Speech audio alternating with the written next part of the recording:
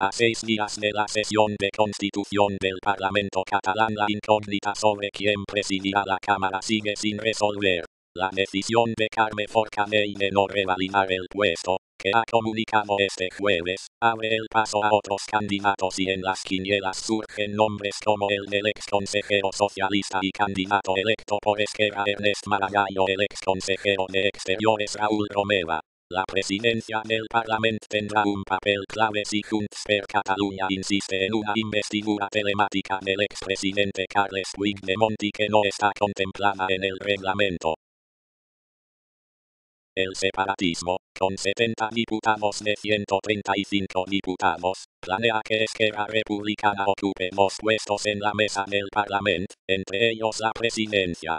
Quien presida la Cámara es quien tiene la última palabra sobre cómo interpretar el reglamento del Parlamento, entre otras cosas. Durante la última legislatura, la oposición consideró que Forcaney siempre había favorecido las posiciones del independentismo. El Partido Republicano oficialmente no confirma ningún nombre. Todo a la espera de que Forcaney tomara una decisión al respecto a su futuro. Desde EFE, de hecho, dicen que quieren primero asegurar la mayoría independentista en la mesa y después entrar a hablar de nombres. Si los ocho diputados en Bruselas o en prisión no pueden participar, dependerían del voto de los comunes pero son pocos los dispuestos a aceptar un cargo que implica tomar decisiones con serias consecuencias legales.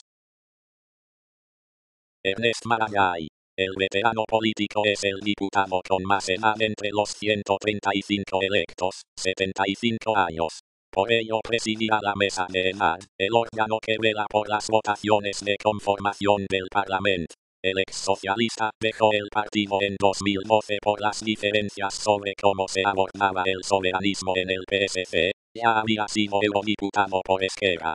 En su partida, Forcaney sugirió que su sucesor o sucesora debería estar libre de causas judiciales. El hermano de Pascual Maragall y ex consejero de Educación cumpliría con esta condición.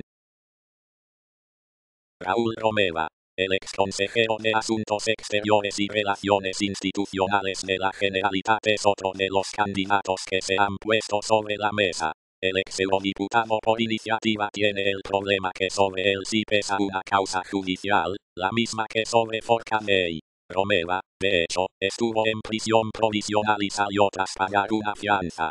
En 2015, cuando EFE y la extinta Convergencia pactaron juntos el Romeva fue su cabeza de cartel, lo cual implica que genera gran consenso.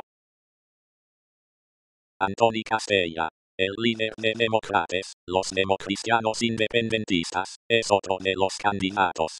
Castella abandonó Unión Democrática y había sido secretario de Universidades de la Generalitat. Demócratas decidió ir a la lista de EF en las últimas elecciones como independientes. Castella era el número 15 por Barcelona.